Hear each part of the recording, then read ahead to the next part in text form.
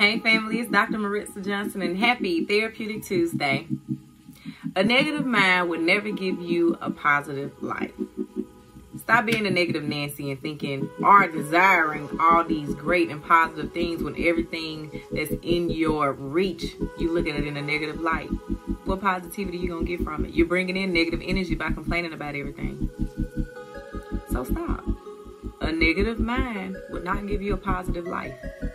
So if you see yourself today as the person that's being negative about a lot, um, you can never see the good in something, you're not optimistic, then you can stop looking for this positive life.